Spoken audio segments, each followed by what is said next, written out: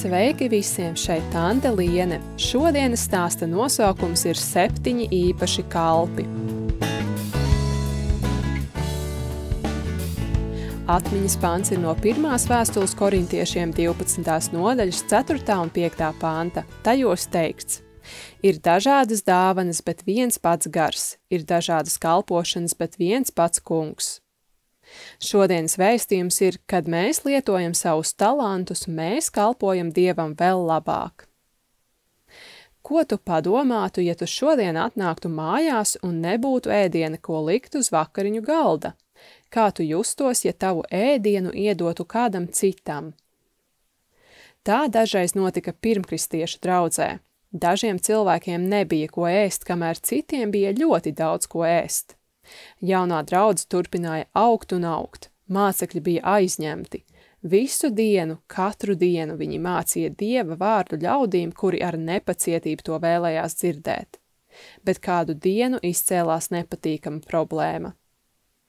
Grieķu valodā runājošie ticīgie sāka sūdzēties.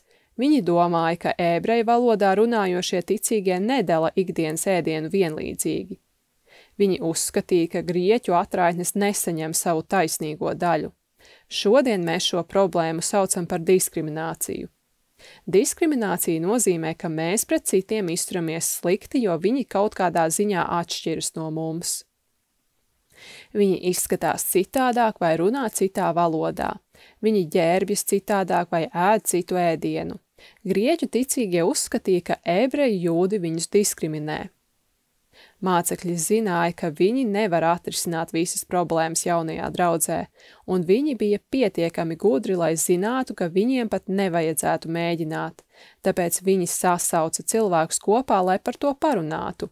Izmeklējiet savā starpā septiņus vīrus, viņi teica. Izvēlieties vīrus, kas ir svētā gara un gudrības pilni. Mēs viņus iecelsim par atbildīgajiem pārtikas izdalīšanā. Cilvēki paskatījās viens uz otru un piekrita, tāpēc viņi izvēlējās septiņus labus vīrus – Stefanu, Filipu, Prohoru, Nikanoru, Timonu, Parmenu un Nikolaju. Viņi kļuva par pirmajiem draudskopiem. Mācekļi lūdza un uzlika viņiem rokas, lai ieceltu viņus šai īpašajā kalpošanā.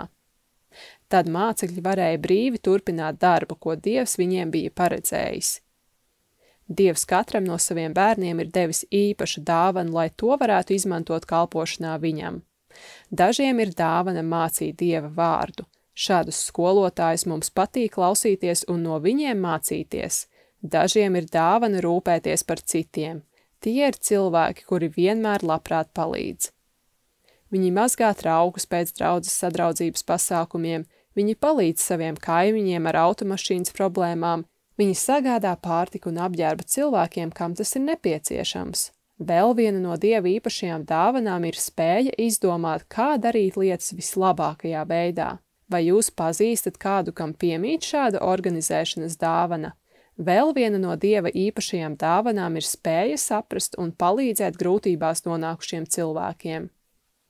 Mēs visi varam parādīt citiem Jēzus mīlestību un mīlēt viņus tāpat, kā viņš to darīja.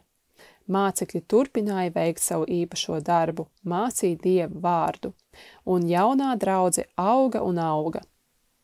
Kad ticīgie izmanto savas dāvanas, lai kalpotu Dievam, arī šodien draudze turpina augt.